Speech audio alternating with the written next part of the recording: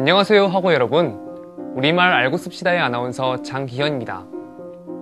얼마 전까지만 해도 무더웠던 날씨가 지나가고 어느새 본격적인 가을에 접어들었습니다. 특히 아침 저녁에는 쌀쌀해서 감기에 걸리실 수 있으니 외출할 때 얇은 겉옷 하나 더 준비하시면 좋을 것 같습니다. 우리말 알고 씁시다. 오늘은 하고 여러분과 함께 일상에서 흔히 잘못 쓰이고 있는 단어를 바로 잡아볼까 합니다. 그럼 오늘의 소중한 우리말 함께 알아보겠습니다. 표정이 안 좋네. 무슨 일 있었어? 내가 어제 소개팅을 했는데 남자가 어찌나 꼴불견이든지 아, 왜 어떤 남자길래 그래? 처음에 내가 밥을 샀어. 그리고 나서 카페에 갔는데 남자가 계산할 생각을 안 하는 거야. 아우 정말 못 살겠다. 그니까 말이야. 내가 두 번 다시 소개팅 하나 봐. 여러분, 어떤 표현이 잘못되었는지 아시겠나요?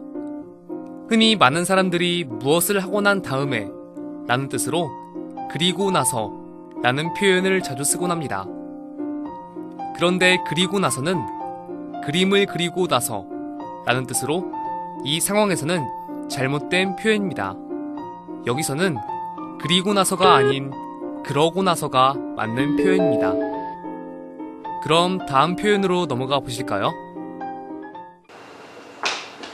아 미안해 미안해 미안해 야, 너는 왜 맨날 늦어? 아니 내가 늦으려고 한 건 아닌데 아 교수님이 수업을 늦게 끝내주는 거야 여기 먹고 싶은 거 다 얘기해 내가 다 사줄게 아싸.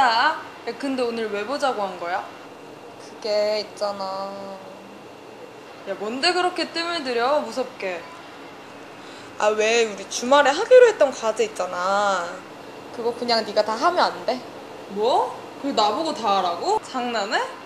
아니 내가 주말에 여행 가기로 해가지고 택도 없는 소리 절대 안 돼. 아 한 번만 해주라 아 한 번만 해줘 잘 보셨나요? 흔히 많은 사람들이 이치에 닿지 않거나 그럴 만한 근거가 없다. 또는 수준이나 분수에 맞지 않다. 라는 뜻으로 택도 없다는 표현을 자주 사용하곤 합니다. 그런데 택도 없다 라는 표현은 잘못된 표현으로 존재하지 않는 어휘입니다. 따라서 택도 없다가 아닌 턱도 없다 라고 표현하는 것이 맞습니다.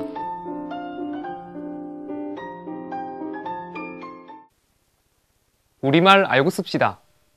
오늘은 일상에서 흔히 잘못 쓰이기 쉬운 표현들을 바로잡아 보았습니다.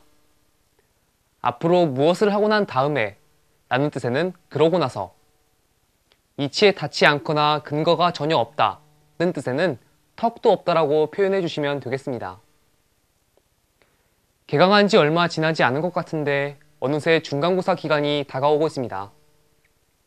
이번 학기에 좋은 성적 받기를 바라시는 학우분들께서는 벼락치기를 하기보단 미리미리 공부하시는 게 좋을 것 같네요. 그럼 학우 여러분들 모두 좋은 성적 받으시길 바라면서 이 시간 이만 마치겠습니다. 지금까지 진행의 아나운서 장기현이었습니다.